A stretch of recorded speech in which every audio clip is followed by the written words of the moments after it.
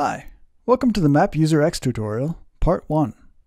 Today we'll learn how to set up a user management system quickly and easily using mapp UserX.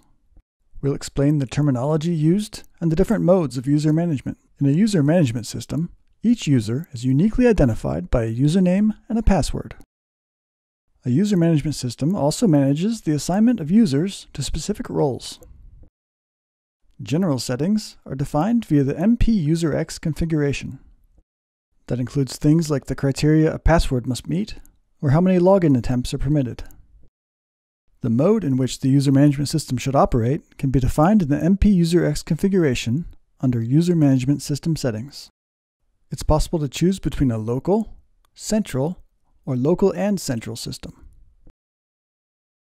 When local user management is selected, all roles and users are managed locally on the machine. In this mode, tasks like adding, editing, and deleting users are all performed directly on the machine.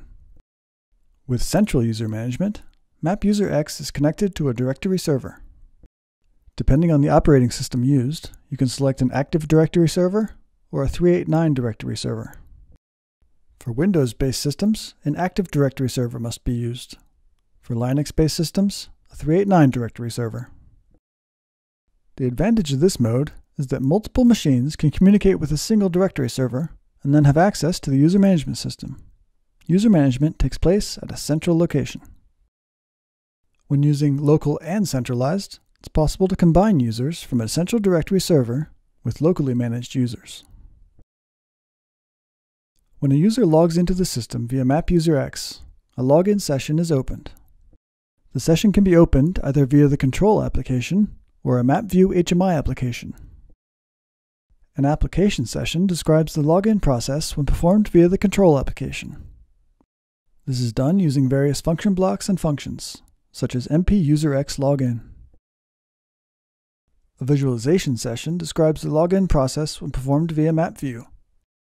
This is done using the login widget. Both types of session use the Automation Studio user role system. The roles Everyone and Administrator exist by default. The default user, Anonymous, is assigned to the role Everyone. It's possible to add new users and roles. We'll create the role Operator and the user Jane.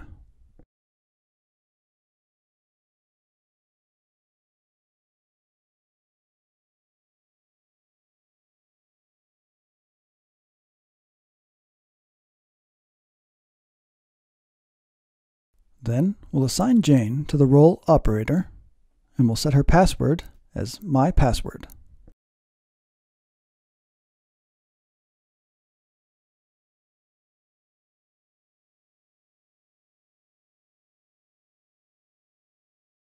The admin user has also been created and assigned to the role administrator.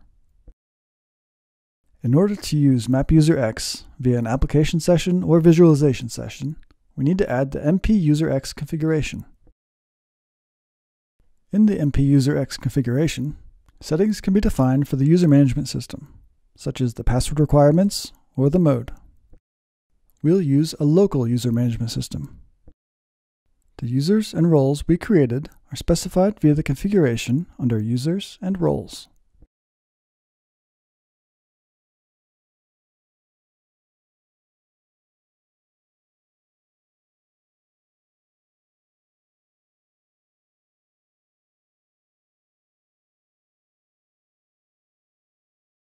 The additional users and roles have been specified.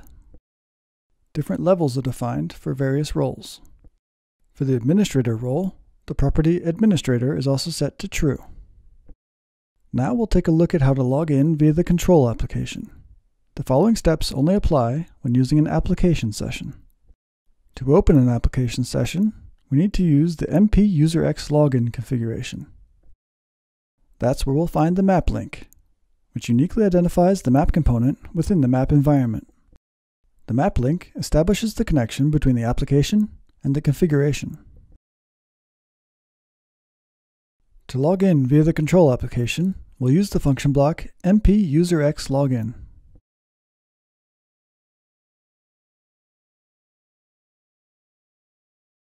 Using the input mp link, we can establish a connection to the configuration we created earlier with the name guserx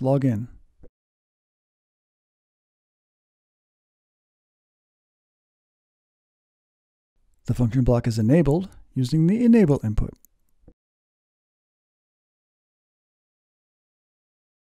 The next step is to create two variables for username and password.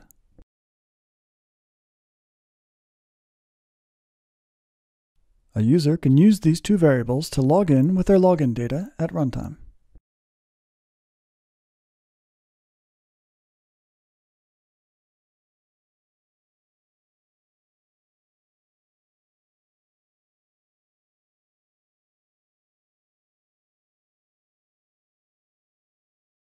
After downloading the changes to the controller, we're ready to test the program.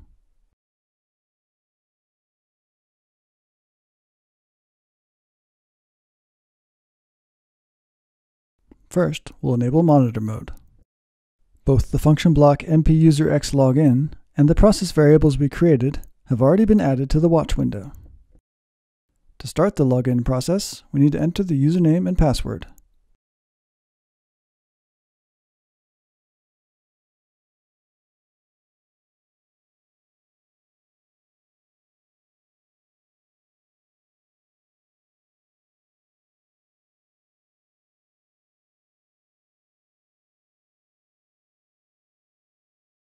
Login process is started via the input parameter login. On the output parameters, we can see which user is logged in and what their user level is. As you can see, logging in to mapp UserX via the control application is quick and easy. Now, we'll look at how to log in via the HMI application. The following steps only apply when using a visualization session. A mapp View HMI application has already been added to my project, as you can see here. In order for mapp View to communicate with mapp UserX, MPUserX must be defined as the authentication type in the mapp View configuration. The login widget is used to open the visualization session via the mapp View HMI application. First, we need to navigate to the piece of content that should display the login widget. Then we can drag and drop the login widget onto the piece of content.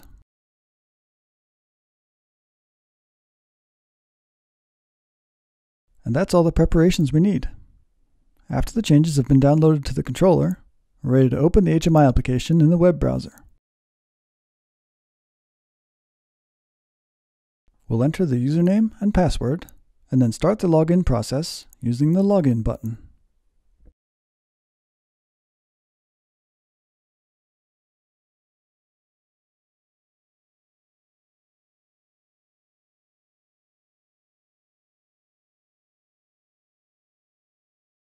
The user Jane is now logged in. Other mapp UserX functions are available depending on the configuration. For example, we could change the password or log out an inactive user. As you can see, logging into mapp UserX from a mapp View HMI application is quick and easy. As we saw, it's possible to log in via either the control application or the HMI application. Both approaches are based on the Automation Studio user role system and the MPUserX configuration. For more information, see the automation help. Thanks for watching.